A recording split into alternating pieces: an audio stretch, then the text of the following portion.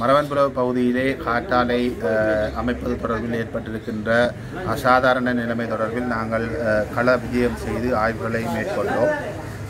அந்த அமையப்பெறுகின்ற காற்றாலைகள் எங்கே அமையப்ப அமைக்கப்பட போகின்றதோ அந்த பகுதிகளுக்கு நேரிலே நாங்கள் சென்று அந்த மக்களுடனும் நாங்கள் கலந்துரையாடல்களை மேற்கொண்டிருந்தோம்.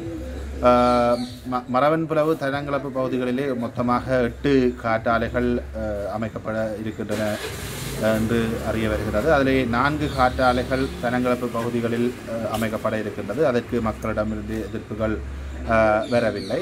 மரவன்புலவு பகுதியில் மேலும் நான்கு காற்றாலைகள் அமைக்கப்பட இருக்கின்றது. அதில் இரண்டு காற்றாலைகள் தொடர்பில் தமக்கு பாரியளவு எதிர்ப்பு இல்லை என்றும் இரண்டு காற்றாலைகளை அமைப்பது தொடர்பில் தான் தமக்கு தமக்கு மிகவும் அதிருப்தி இருக்கின்றது என்றும் அந்த பகுதி மக்கள் எங்களுக்கு தெரிவித்திருக்கின்றார்கள்.